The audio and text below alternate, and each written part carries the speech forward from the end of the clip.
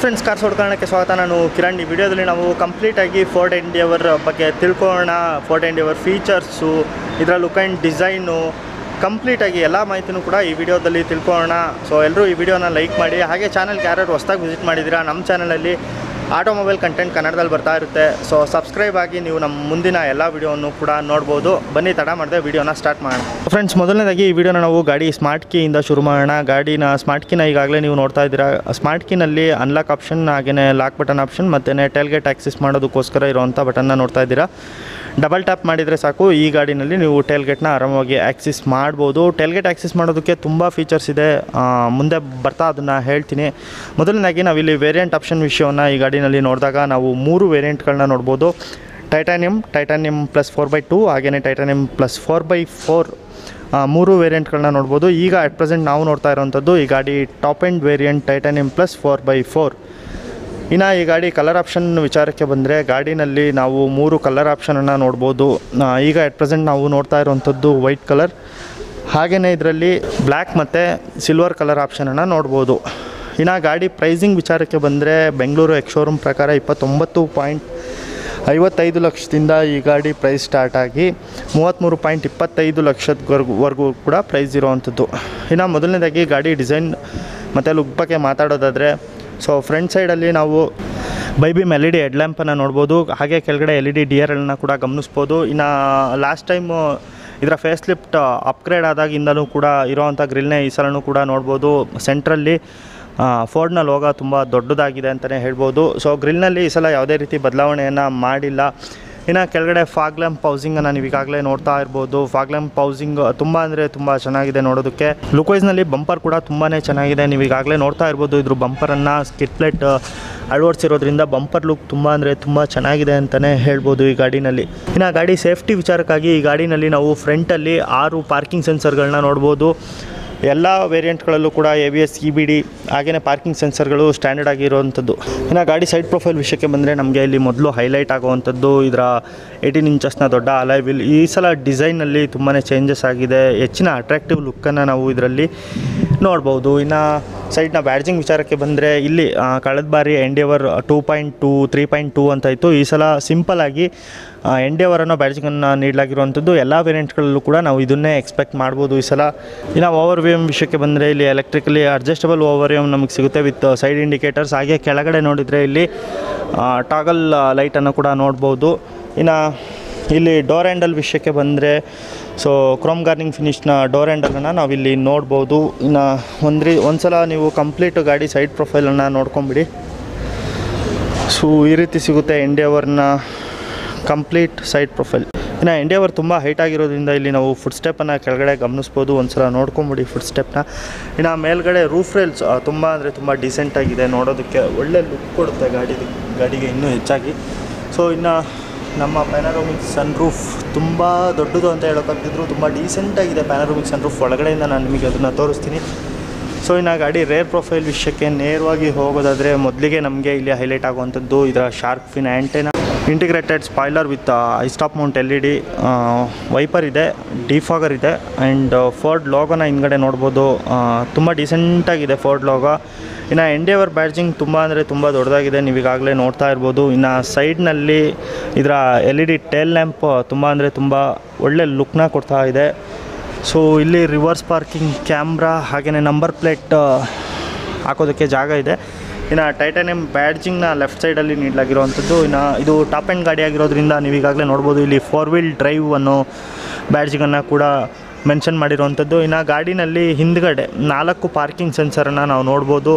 ಇನ್ನು ಇದು complete S U V ಆಗಿರೋದ್ರಿಂದ ಬಂಪರ್ ಸ್ಕಿಟ್ ಪ್ಲೇಟ್ ಬಂಪರನ್ನು ಅಳವಡಿಸಾಗಿರುವಂಥದ್ದು. ಸೊ ಇನ್ನು ಇಲ್ಲಿಂದ ಸೆಂಟ್ರಿಗೆ ಬಂದರೆ ಸೆಂಟ್ರ್ನಲ್ಲಿ ನಿಮಗೆ ಟೇಲ್ಗೇಟ್ ಆಕ್ಸೆಸ್ ಮಾಡೋದಕ್ಕೋಸ್ಕರ ಒಂದು ಬಟನ್ ಇದೆ. ಇನ್ನು ಟೇಲ್ಗೇಟ್ ಆಕ್ಸೆಸ್ ಮಾಡೋದಕ್ಕೆ ನಮಗೆ ಕೇವಲ ಅದೊಂದೇ ಅಂತಲ್ಲ ಕೀ ಆಪ್ಷನ್ ಇದೆ ಫ್ರಂಟ್ ಕ್ಯಾಬಿನಲ್ಲಿ ಬಟನ್ ಇದೆ. ಸೊ ಜಸ್ಟ್ ಇದನ್ನು ಟ್ವೈಸ್ ಪ್ರೆಸ್ ಮಾಡಿದರೆ ಓಪನ್ ಆಗುತ್ತೆ. ಇಲ್ಲಾಂದರೆ ಜಸ್ಟ್ ಹಿಂಗೆ ಗಾಡಿ ಮುಂದೆ ಬಂದ್ಬಿಟ್ಟು ಕಿಕ್ ಮಾಡಿದರೆ ಸಾಕು. ಟೇಲ್ಗೇಟ್ ಆ್ಯಕ್ಸಿಸನ್ನು ಈಸಿಯಾಗಿ ಮಾಡ್ಬೋದು. ಸೊ ನೋಡೋಣ ಒಳಗಡೆ ಬೂಟ್ ಸ್ಪೇಸ್ ಎಷ್ಟಿದೆ ಅಂತ. ಸೊ ಇದು ನಿಮಗೆ ಟೈಲ್ಗೇಟನ್ನು ರಿಟರ್ನ್ ಕ್ಲೋಸ್ ಮಾಡೋದಕ್ಕೆ ಇರೋವಂಥ ಬಟನ್ ನಿಮಗೆ ಗಾಡಿನಲ್ಲಿ ಬೂಟ್ ಸ್ಪೇಸ್ ವಿಚಾರಕ್ಕೆ ಬಂದರೆ ಸುಮಾರು ನಾನ್ನೂರ ಮೂವತ್ತು ಲೀಟ್ರ್ ಬೂಟ್ ಸ್ಪೇಸ್ ಸಿಗುತ್ತೆ ಸೊ ಲೆಫ್ಟ್ ಸೈಡ್ನಲ್ಲಿ ಮೊದಲು ನೋಡೋದಾದರೆ ನಾವು ಟ್ವೆಲ್ ವೋಲ್ಟ್ನ ಪವರ್ ಸಾಕೆಟನ್ನು ನೋಡ್ಬೋದು. ಏನಾದರೂ ಚಾರ್ಜ್ ಹಾಕೊತೀರಾ ಲ್ಯಾಪ್ಟಾಪು ಅದು ಇದು. ಲ್ಯಾಪ್ಟಾಪ್ ಹಾಕೊಳ್ಳೋದಕ್ಕೆ ಬೇಜಾನ್ ಸ್ಪೇಸ್ ಇದೆ ಮುಂದ್ಗಡೆ. ಸೊ ಟೂಲ್ ಕಿಟ್ ಇದೆ ಇಲ್ಲಿ ಇಲ್ಲಿ ನೋಡ್ಬೋದು. ಗಾಡಿ ಸ್ಪೇರ್ ವೀಲನ್ನು ಕೆಳಗಡೆ ಕೊಟ್ಟಿದ್ದಾರೆ. ಆ್ಯಂಡ್ ಹಾಗೆಯೇ ಇಲ್ಲಿ ಈ ಥರ್ಡ್ ರನ್ನ ಕ್ಲೋಸ್ ಮಾಡೋದಕ್ಕೋಸ್ಕರ, ಅಂದರೆ ಥರ್ಡ್ ರಾದಲ್ಲಿ ನೀವೇನಾದರೂ ಎಕ್ಸ್ಟ್ರಾ ಏನಾದರೂ ಇದು ಯೂಸ್ ಮಾಡಬೇಕು ಎಕ್ಸ್ಟ್ರಾ ಏನಾದರೂ ಲಗೇಜ್ ಇಡಬೇಕು ಅಂದರೆ ಥರ್ಡ್ ರನ್ನ ಈ ಬಟನ್ ಯೂಸ್ ಮಾಡಿಬಿಟ್ಟು ಆರಾಮಾಗಿ ಕ್ಲೋಸ್ ಮಾಡ್ಬೋದು. ಗಾಡಿ ಒಂದ್ಸಲ ಅನ್ಲಾಕ್ ಮಾಡಿಬಿಟ್ಟು ಜಸ್ಟ್ ಪ್ರೆಸ್ ಮಾಡಿದರೆ ಥರ್ಡ್ ರಾ ಇಮಿಡಿಯೇಟಾಗಿ ಕ್ಲೋಸ್ ಆಗುತ್ತೆ. ಸೊ ನೀವು ಈಗಾಗಲೇ ನೋಡ್ತಾ ಇರ್ಬೋದು ಕಂಪ್ಲೀಟಾಗಿ ಥರ್ಡ್ ರನ್ನಲ್ಲಿರುವಂಥ ಎರಡೂ ಸೀಟ್ಗಳು ಕ್ಲೋಸ್ ಆಗಿರುವಂಥದ್ದು. ಸೊ ಮತ್ತೆ ಒಂದು ಸಲ ಬಟನ್ನ ಪ್ರೆಸ್ ಮಾಡಿದರೆ ಥರ್ಡ್ ರಾದಲ್ಲಿರೋ ಸೀಟ್ಗಳೇನಿದೆ ಕಂಪ್ಲೀಟಾಗಿ ಓಪನ್ ಆಗುತ್ತೆ. ಇನ್ನು ಥರ್ಡ್ ರನ್ನಲ್ಲಿ ಎ ಸಿಗೋಸ್ಕರ ಎರಡು ಎ ಸಿ ವೆಂಟ್ಸನ್ನು ನೀಡಲಾಗಿರುವಂಥದ್ದು. ಇನ್ನು ಒಂದು ಪುಟ್ಟ ಲೈಟಿಂಗನ್ನು ಕೂಡ ಇಲ್ಲಿ ನೀಡಲಾಗಿರುವಂಥದ್ದನ್ನು ನೀವು ಈಗಾಗಲೇ ನೋಡ್ತಾ ಇರ್ಬೋದು. ಸೊ ಇನ್ನು ಕಪ್ ಹೋಲ್ಡರ್ ಕೂಡ ಇದೆ ಥರ್ಡ್ ನೀವು ಈಗಾಗಲೇ ಅದನ್ನು ನೋಡಿಬಿಡಿ, ಅಲ್ಲಿ ಕಪ್ ಹೋಲ್ಡರನ್ನು ಎರಡೂ ಸೈಡ್ನಲ್ಲೂ ಕೂಡ ಕೊಟ್ಟಿದ್ದಾರೆ. ಸೊ ಗಾಡಿ ಸೆಕೆಂಡ್ ರಾಗ್ ಹೋಗೋಣ ಈಗ ಜಸ್ಟ್ ಟೈಲ್ಗೇಟ್ನ ಕ್ಲೋಸ್ ಮಾಡಿ. ಸೊ ಇನ್ನು ಗಾಡಿ ಸೆಕೆಂಡ್ ರಾ ಆಗಿದೆ, ನೋಡ್ಬಿಡೋಣ. ಸೊ ಜಸ್ಟ್ ಓಪನ್ ಮಾಡಿಬಿಡೋಣ. ಓಪನ್ ಮಾಡಿದ ತಕ್ಷಣವೇ ನೀವು ಈಗಾಗಲೇ ನೋಡ್ತಾ ಇರ್ಬೋದು ಡೋರ್ ಅನ್ಲಾಕ್ ಮತ್ತು ಲಾಕ್ ಬಟನ್ನು ಆ್ಯಂಡ್ ಹಾಗೆಯೇ ಡೋರ್ ಓಪನ್ ಮಾಡೋದಕ್ಕೋಸ್ಕರ ಇರುವಂಥ ವಿಂಡೋಸ್ನ ಇದರಲ್ಲಿ ಆಕ್ಸೆಸ್ ಮಾಡ್ಬೋದು. ಸೊ ಫಿನಿಶಿಂಗ್ ಎಲ್ಲ ತುಂಬ ಚೆನ್ನಾಗಿದೆ. ಇಲ್ಲೆಲ್ಲ ಹೆಚ್ಚಾಗಿ ಲೆದರ್ ಸ್ಟಿಚಿಂಗ್ ಫಿನಿಷನ್ನೇ ನೋಡ್ಬೋದು ನಾವು. ಸೊ ಇನ್ನು ಗಾಡಿ ಒಳಗಡೆ ಸ್ಪೇಷಿಯಸ್ ಆಗಿದೆ ಕಂಪ್ಲೀಟಾಗಿ ಒಂದ್ಸಲ ಹಿಂದೆಯಿಂದನೂ ನೋಡ್ಕೊಂಬಿಡಿ. ತುಂಬಾ ಸ್ಪೇಷಿಯಸ್ ಗಾಡಿ ಇಂಡಿಯವರು. ಇನ್ನು ಸೀಟ್ ಅಡ್ಜಸ್ಟ್ ಮಾಡೋದಕ್ಕೆ ಅಂದರೆ ರೋ ಆಕ್ಸೆಸ್ ಮಾಡೋದಕ್ಕೆ ನೀವು ಇಲ್ಲಿಂದನೇ ಆರಾಮಾಗಿ ಮೂವ್ ಆಗ್ಬೋದು. ಸೊ ನೋಡಿ, ಈಗ ಇದು ಕಂಪ್ಲೀಟಾಗಿ ಕ್ಲೋಸ್ ಆಗಿದೆ. ತರ್ಡ್ ರಾನಲ್ಲಿ ಒಂದು ಚಿಕ್ಕ ತೊಂದರೆ ಏನಪ್ಪ ಅಂದರೆ ಮಕ್ಕಳನ್ನ ನೀವು ಆರಾಮಾಗಿ ಕೂರಿಸ್ಬೋದು. ಸೊ ದೊಡ್ಡವ್ರು ಕೂತ್ಕೋಬೋದು ಕೂತ್ಕೊಳ್ಳೋಕ್ಕೆ ಆಗಲ್ಲ ಅಂತಲ್ಲ ಬಟ್ ಕೂತ್ಕೊಂಡ್ರೂ ಜಾಸ್ತಿ ಲಾಂಗ್ ಜರ್ನಿ ಮಾಡೋದು ಅಷ್ಟು ಒಂದು ಸ್ವಲ್ಪ ರಿಸ್ಕಿ ಅನಿಸುತ್ತೆ ತರ್ಡ್ ರನ್ನಲ್ಲಿ ಸೊ ಎತ್ತಣ ಮೇಲೆ. ಸೆಕೆಂಡ್ ರಾದ ಎ ಸಿ ವೆಂಟ್ ಇದು. ಸೊ ಲೈಟ್ ಕರೆಕ್ಟಾಗಿ ಕಾಣಿಸ್ತಾ ಇಲ್ಲ ಅಂದ್ಕೊಳ್ತೀನಿ ಆ್ಯಂಡ್ ಇಲ್ಲೊಂದು ಲೈಟ್ ಇದೆ, ಎರಡು ಸಣ್ಣ ಬಲ್ಬ್ಗಳನ್ನ ನಾವಿಲ್ಲಿ ನೋಡ್ಬೋದು. ಇನ್ನು ಈ ಕಡೆ ರೋಲ್ ಆಗಿನೇ ಎ ಸಿ ಕಂಟ್ರೋಲ್ ಎಲ್ಲ ಇಲ್ಲಿದೆ. ಇಲ್ಲೂ ಕೂಡ ಒಂದು ಟ್ವೆಲ್ ವೋಲ್ಟ್ನ ಸಾಕೆಟನ್ನು ನಾವು ನೋಡ್ಬೋದು.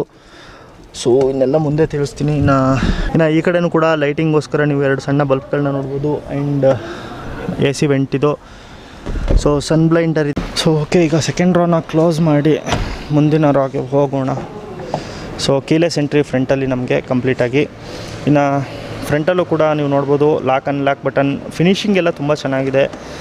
ಸೊ ಇಲ್ಲೂ ಕೂಡ ಒಂದು ಲೀಟ್ರು ಬಾಟ್ಲನ್ನ ಆರಾಮಾಗಿ ಇಟ್ಕೊಬೋದು. ಒಂದು ಲೀಟ್ರಿಗಿಂತ ಜಾಸ್ತಿ ಇಡೋದಕ್ಕೊಂದು ಸ್ವಲ್ಪ ರಿಸ್ಕಿ ಅನಿಸುತ್ತೆ. ಏನಾದರೂ ಇನ್ ಕೇಸ್ ಇಲ್ಲೇನಾದರೂ ನಿಮ್ಗೆ ಸೈಡಲ್ಲಿ ಏನಾದರೂ ಸಣ್ಣ ಪುಟ್ಟ ಪೇಪರ್ಸು ಅದು ಇದು ಮ್ಯಾಗ್ಝಿನ್ಸ್ ಏನಾದರೂ ಇಟ್ಕೊಬೋದು. ಮ್ಯಾಗ್ಝಿನ್ಸ್ ಇಡೋದಕ್ಕೆ ಇನ್ನೂ ಕೂಡ ಸ್ವಲ್ಪ ಜಾಗ ಇದೆ. And also it is speaker so ನಾಲ್ಕು ವಿಂಡೋಸ್ಗಳನ್ನ ನೀವು ಇಲ್ಲಿಂದ ಆ್ಯಕ್ಸಿಸ್ ಮಾಡ್ಬೋದು ಆರಾಮವಾಗಿ ಇನ್ನು front A C vent and window control ಮಾಡೋದಕ್ಕೆ ನಾರ್ಮಲಾಗಿ ಎಲ್ಲ ಕಾರ್ಗಳಲ್ಲೂ ನಾವು ಸೈಡಲ್ಲೇ ನೋಡ್ತೀವಿ. ಅಂದರೆ ಈ ಜಾಗದಲ್ಲಿ ನೋಡ್ತೀವಿ. ಬಟ್ ಈ ಗಾಡಿನಲ್ಲಿ ವಿಂಡೋ ಕಂಟ್ರೋಲ್ ಮಾಡೋದಕ್ಕೆ ಇಲ್ಲಿ ಸ್ಪೇಸನ್ನು ಕೊಟ್ಟಿರುವಂಥದ್ದು. ಇನ್ನು ಕಂಪ್ಲೀಟ್ ಹೆಡ್ಲೈಟ್ ಕಂಟ್ರೋಲ್ ಆಪ್ಷನ್ಸ್ ಇಲ್ಲಿದೆ. ಟೈಲ್ಗೇಟ್ ಆಕ್ಸಿಸ್ ಮಾಡೋದಕ್ಕೆ ತುಂಬ ಜಾಗ ಇದೆ. ತುಂಬ ಆಪ್ಷನ್ ಇದೆ ಗಾಡಿನಲ್ಲಿ ಅಂತ ಹೇಳಿದ್ದೆ. ಸೊ ಇಲ್ಲೂ ಕೂಡ ಆರಾಮಾಗಿ ಟೈಲ್ಗೇಟನ್ನು ಆಕ್ಸಿಸ್ ಮಾಡ್ಬೋದು. ಸೊ ಆಲ್ರೆಡಿ ಟೈಲ್ಗೇಟ್ ಓಪನ್ ಆಗಿದೆ. ಸೊ ಇನ್ನು ಸೀಟಿಂಗ್ ವಿಷಯಕ್ಕೆ ಬಂದರೆ ಏಟ್ ವೇ ಅಡ್ಜಸ್ಟಬಲ್ಲು ಸೊ ಈಗಾಗಲೇ ನೋಡ್ತಾ ಇರ್ಬೋದು ಸೀಟು ಹಿಂದಕ್ಕೆ ಹೋಗ್ತಾ ಇದೆ. ಬಟ್ ನಿಮ್ಗೆ ಅಬ್ಸರ್ವೇಷನ್ ಬರ್ತಾ ಇದೆಯೋ ಇಲ್ವೋ ಗೊತ್ತಿಲ್ಲ. ಸೊ ಇನ್ನು ಈಗ ನೋಡ್ಕೊಂಬಿಡಿ ಕ್ಲೋಸ್ ಆಗ್ತಾ complete eight way adjustable and also it is electrically adjustable ನೀವು ಮ್ಯಾನ್ಯಲಿ ಏನೂ ಕೂಡ ಆಪ್ರೇಟ್ ಮಾಡೋವಂಥ ಅವಶ್ಯಕತೆ ಇಲ್ಲ. ಆರಾಮಾಗಿ ಪವರ್ ಕಂಟ್ರೋಲ್ ಮುಖಾಂತರ ಯೂಸ್ ಮಾಡ್ಕೋಬೋದು. And steering it's a multifunctional steering right ಸೈಡ್ನಲ್ಲಿ ನೀವು ಮೇಲ್ಭಾಗದಲ್ಲಿ ಎಂ ಐ ಡಿ ಕಂಟ್ರೋಲ್ ಮಾಡೋದಕ್ಕೋಸ್ಕರ ಇರುವಂಥ ಬಟನ್ನ ನೋಡ್ಬೋದು. ಹಾಗೆಯೇ ಕೆಳಗಡೆ ಕ್ರೂಸ್ ಕಂಟ್ರೋಲ್ ಮಾಡೋದಕ್ಕೋಸ್ಕರ ಇರುವಂಥ ಬಟನ್ಗಳನ್ನ ನೋಡ್ಬೋದು.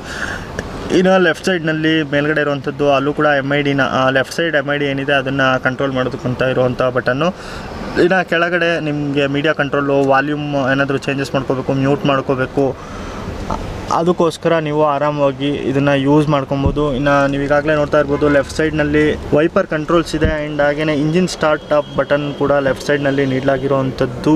ಆ್ಯಂಡ್ ಹಾಗೆಯೇ ಇದರ ಎನ್ಫರ್ಟೈನ್ಮೆಂಟ್ ವಿಚಾರಕ್ಕೆ ಬಂದರೆ ಎಂಟು ಇಂಚಿನ ಟಚ್ ಸ್ಕ್ರೀನನ್ನು ನೀಡಲಾಗಿರುವಂಥದ್ದು. ಈ touch screen and Android Auto Apple CarPlay ಮತ್ತು ಫೋರ್ಡ್ ಪಾಸ್ ಟೆಕ್ನಾಲಜಿಯನ್ನು ಒಳಗೊಂಡಿರುವಂಥದ್ದು. ಫೋರ್ಡ್ ಪಾಸ್ ಟೆಕ್ನಾಲಜಿ ಅಂದರೆ ಫೋರ್ಡ್ ಅವ್ರದ್ದೇ ಒಂದು ಟೆಕ್ನಾಲಜಿ ಇದೆ. ಅದ್ರ ಮೂಲಕ ನೀವು ಗಾಡಿನ ಲಾಕ್ ಅಥವಾ ಅನ್ಲಾಕ್ ಮಾಡ್ಕೋಬೋದು. ನಿಮ್ಮ ಮೊಬೈಲ್ಗೆ ಆ್ಯಪ್ ಕೂಡ ಸಿಗುತ್ತೆ ಅದರಲ್ಲಿ. ಅದನ್ನು ಯೂಸ್ ಮಾಡಿಕೊಂಡು ನಿಮ್ಮ ಮೊಬೈಲ್ನಿಂದನೇ ಗಾಡಿಯನ್ನು ಲಾಕ್ ಅನ್ಲಾಕ್ ಮಾಡ್ಬೋದು. ಕೆಲವೊಂದು ಫೀಚರ್ಗಳನ್ನ ತೋರಿಸುತ್ತೆ. ಅದು ಗಾಡಿ ಟೈರ್ ಪ್ರೆಷರು ಅದು ಇದು ಮಾನಿಟ್ರಿಂಗು ಎಲ್ಲದನ್ನು ಕಂಪ್ಲೀಟಾಗಿ ತೋರಿಸ್ತಾ ಇರುತ್ತೆ. ಗಾಡಿ ಪೊಸಿಷನ್ ತೋರಿಸ್ತಾ ಇರುತ್ತೆ ಯಾವ ರೀತಿ, ಏನು ಅನ್ನೋದನ್ನ. ಸೊ ಇನ್ನು ಕೆಳಗಡೆ ಮೊದಲಿಗೆ ಬಂದರೆ ಹಜಾರ್ಡ್ ಲೈಟ್ ಫಂಕ್ಷನ್ನ ನೋಡ್ಬೋದು. ಇನ್ನು ವಾಲ್ಯೂಮ್ ಬಟ್ ವಾಲ್ಯೂಮ್ ನೀವು ಚೇಂಜ್ ಮಾಡ್ಕೊಳ್ಕೋರೆ ಎಫ್ ಎಂ ಅಥವಾ ಮೀಡಿಯಾ ಕಂಟ್ರೋಲ್ಗೋಸ್ಕರ ಇನ್ನು ಇನ್ ಕೇಸ್ ಏನಾದರೂ ಎಫ್ ಎಂ ಯೂಸ್ ಮಾಡ್ತೀರಾ ಅಂದರೆ ಎಫ್ ಎಂ ಟ್ಯೂನ್ ಮಾಡೋದಕ್ಕೋಸ್ಕರ. ಸೊ ಸಾಕಷ್ಟು ಬಟನ್ಗಳಿದೆ ಇಲ್ಲಿ. ಕಂಪ್ಲೀಟಾಗಿ ಎಲ್ಲದನ್ನು ನೋಡ್ಕೊಬಿಡಿ. ಕೆಳಗಡೆ ಎ ಸಿ ಕಂಟ್ರೋಲ್ ಮಾಡುವಂಥ ಬಟನ್ಗಳಿದೆ. ಆ್ಯಂಡ್ ಹಾಗೆಯೇ ಫ್ರಂಟಲ್ಲೂ ಕೂಡ ಟ್ವೆಲ್ ಟ್ವೆಲ್ ವೋಲ್ಟ್ ಸಾಕೆಟನ್ನು ನೋಡ್ಬೋದು. ಹಾಗೆಯೇ ಇದೊಂದಿದೆ. So U S B port ಫ್ರಂಟಲ್ಲಿ ಎರಡಿದೆ. ಗೇರ್ ಸಿಸ್ಟಮ್ ಬಗ್ಗೆ ಮಾತನಾಡೋದಾದ್ರೆ ಇದು ಟೆನ್ ಸ್ಪೀಡ್ ಆಟೋಮೆಟಿಕ್ ಗೇರ್ ಸಿಸ್ಟಮನ್ನು ಒಳಗೊಂಡಿರುವಂಥ ಗಾಡಿ. ಇಂಜಿನ್ ಬಗ್ಗೆ ಮಾತನಾಡಬೇಕಾದ್ರೆ ನಾನು ಗೇರ್ ಸಿಸ್ಟಮ್ ಬಗ್ಗೆ ಮಾತನಾಡ್ತೀನಿ. ಇನ್ನು ಗಾಡಿ ಸ್ಟೋರೇಜ್ ಸ್ಪೇಸಸ್ ವಿಚಾರಕ್ಕೆ ಬಂದರೆ ಆಮ್ರೆಸ್ಟ್ ಹತ್ರ ಸ್ವಲ್ಪ ಕೆಳಗಡೆ ಜಾಗ ಇದೆ ನೀವು ಇಲ್ಲಿ ನೋಡ್ಕೊಬೋದು ಆ್ಯಂಡ್ ಹಾಗೆಯೇ ಇಲ್ಲಿ ಕಪ್ ಹೋಲ್ಡರ್ಸ್ ಕೂಡ ಇದೆ, ಏನಾದರೂ ಕಪ್ಸ್ ಇಟ್ಕೊಳ್ತೀರಾ ಅಂದರೆ ಇಟ್ಕೊಬೋದು ಸೊ ಇನ್ನು ಗಾಡಿನಲ್ಲಿ ಕೂಲ್ಡ್ ಗ್ಲೋ ಬಾಕ್ಸ್ ಕೂಡ ಇದೆ, ಏನಾದರೂ ಇಲ್ಲೂ ಕೂಡ ಏನಾದರೂ ಕ್ಯಾರಿ ಮಾಡ್ತೀರಾ ಇನ್ ಕೇಸ್ ಡಾಕ್ಯುಮೆಂಟ್ಸ್ ಏನಾದರೂ ಇಟ್ಕೊಬೋದು ಇನ್ನು ಗಾಡಿನಲ್ಲಿ ವ್ಯಾನಿಟಿ ಮಿರರ್ ಇದೆ, ಎರಡೂ ಸೈಡ್ನಲ್ಲೂ ಇದೆ ವ್ಯಾನಿಟಿ ಮಿರರ್ ಇನ್ನು ಗಾಡಿನಲ್ಲಿ ಸನ್ರೂಫ್ ಕಂಟ್ರೋಲ್ ಮಾಡೋದಕ್ಕೆ ಈಗಾಗಲೇ ನೀವು ಬಟನ್ಗಳನ್ನ ಗಮನಿಸ್ತಾ ಇರ್ಬೋದು. ಸನ್ ಬ್ಲೈಂಡರ್ ಓಪನ್ ಮಾಡೋದಕ್ಕೆ ಹಾಗೆಯೇ ಸನ್ರೂಫನ್ನು ಓಪನ್ ಮಾಡೋದಕ್ಕೆ ಈ ಬಟನ್ಗಳನ್ನು ನಾವು ಯೂಸ್ ಮಾಡ್ಕೋಬೋದು. ಇನ್ನು ಇಲ್ಲೂ ಕೂಡ ಎರಡು ಪುಟ್ಟ ಲೈಟಿಂಗನ್ನು ನೀಡಿರೋದನ್ನು ನೀವು ನೋಡ್ಬೋದು. ಹಾಗೆಯೇ ಸನ್ಗ್ಲಾಸ್ ಹೋಲ್ಡರನ್ನು ಕೂಡ ಇಲ್ಲಿ ಗಮನಿಸ್ಬೋದು. ಇನ್ನು ಸನ್ರೂಫ್ ಓಪನಿಂಗ್ ಸಿಸ್ಟಮನ್ನು ನೀವು ಒಂದ್ಸಲ ನೋಡ್ಕೊಬೋದು. ಈಗಾಗಲೇ ನಿಮ್ಮ ಸ್ಕ್ರೀನ್ ಮೇಲೆ ಸನ್ರೂಫ್ ಓಪನ್ ಆಗ್ತಿರೋವಂಥದ್ದು ಹಾಗೆ ಕ್ಲೋಸ್ ಆಗ್ತಿರೋದನ್ನು ಸ್ಕ್ರೀನ್ ಮೇಲೆ ಗಮನಿಸ್ಬೋದು. ಇನ್ನು ಗಾಡಿ ಸೇಫ್ಟಿ ವಿಚಾರದ ಬಗ್ಗೆ ಯಾವುದೇ ರೀತಿ ಮಾತನಾಡೋ ಆಗಿಲ್ಲ ಫ್ರಂಟ್ ಆ್ಯಂಡ್ ಬ್ಯಾಕ್ ಎರಡೂ ಕೂಡ ಡಿಸ್ಪ್ಲೇಕ್ ಸೌಲಭ್ಯವನ್ನು ಒಳಗೊಂಡಿರುವಂಥದ್ದು A E B D E S C so ಏಳು ಏರ್ ಬ್ಯಾಗ್ ಇದೆ ಗಾಡಿನಲ್ಲಿ. ಗಾಡಿನಲ್ಲಿ ಸೇಫ್ಟಿ ವಿಚಾರವಾಗಿ ಯಾವುದೇ ರೀತಿ ತಲೆ ಕೆಡಿಸ್ಕೊಳ್ಳೋವಂಥ ಅವಶ್ಯಕತೆಯೇ ಎನ್ಡಿಯವರ್ನಲ್ಲಿ ಬರೋದಿಲ್ಲ ಅಂದ್ಕೊಳ್ತೀನಿ.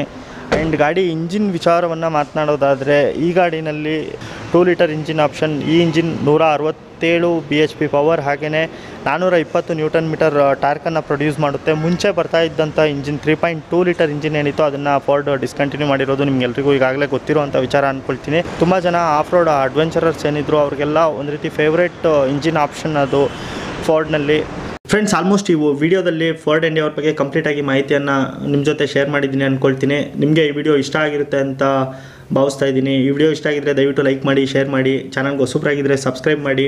ಇನ್ ಕೇಸ್ ನೀವೇನಾದರೂ ಬೆಂಗಳೂರಿನ ಸೌತ್ ಸೈಡ್ ಇದ್ದರೆ ನಿಮಗೆ ಹೊಸೂರು ರೋಡ್ನಲ್ಲಿರುವಂಥ ಜೆ ಎಸ್ ಪಿ ಫೋರ್ಡ್ ಶೋರೂಮ್ನ ನಂಬರನ್ನು ಕೆಳಗಡೆ ಡಿಸ್ಕ್ರಿಪ್ಷನಲ್ಲಿ ಕೊಟ್ಟಿರ್ತೀನಿ. ಸೊ ಅಲ್ಲಿ ನೀವು ಯಾವುದೇ ರೀತಿಯ ಎನ್ಕ್ವೈರಿಯನ್ನು ಅಥವಾ ಟೆಸ್ಟ್ ಡ್ರೈವನ್ನು ಕೂಡ ತೊಗೊಬೋದು. ಸೊ ಮತ್ತೆ ಸಿಗ್ತೀನಿ ಮುಂದಿನ ವಿಡಿಯೋದಲ್ಲಿ